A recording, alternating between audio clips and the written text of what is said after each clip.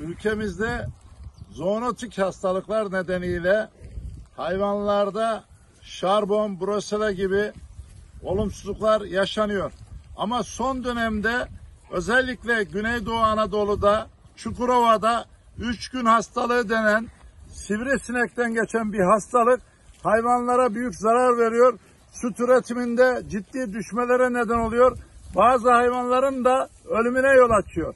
Bununla ilgili aşının zamanında gönderilmesi için bakanlığa önerge de verdim. Bugüne kadar bununla ilgili aşılar gitmediği için çoğu yerde sorun var. Özellikle Ceyhan'da çok sayıda besici arkadaşımız bu konuda şikayetçi oldular.